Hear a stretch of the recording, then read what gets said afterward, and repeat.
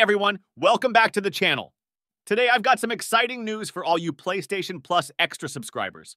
A recent leak has revealed six incredible games coming to the Extra tier in July 2024. Let's dive right in and check out what's coming. First up, we have Crisis Core Final Fantasy VII Reunion. This action RPG is a prequel to the legendary Final Fantasy VII, focusing on Zack Fair's story.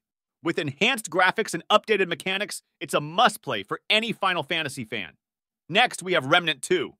This sequel to the hit action survival shooter Remnant from the Ashes takes players back into a post apocalyptic world filled with monstrous creatures and intense third person combat. Get ready to team up with friends and face the horrors together.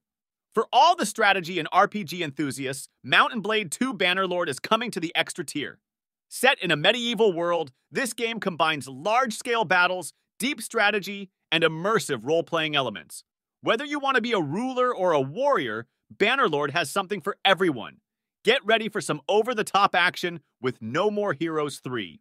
Join Travis Touchdown as he returns to the Garden of Madness, taking on alien assassins in this stylish hack and slash adventure. It's quirky, it's chaotic, and it's a whole lot of fun. Next up, we have Pathfinder Wrath of the Righteous. Enhanced Edition. This epic RPG takes you on a journey through a world plagued by demons. With deep character customization, tactical combat, and an engaging story, this game will keep you hooked for hours. And last, but not least, Travis strikes again.